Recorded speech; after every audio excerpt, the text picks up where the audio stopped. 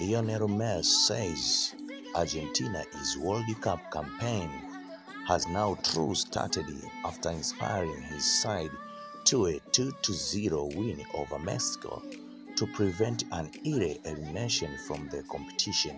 The following a shock 2 to Z to 1 loss to Saudi Arabia in their opening group. Group C match Argentina entered Saturday. crash with Mexico, knowing defeat would see them unable to advance.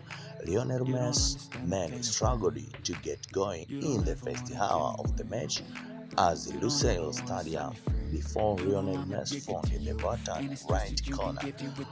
From 25 yards, the Paris Saint-Germain forward then picked it out of Fernandez for the substitute to score.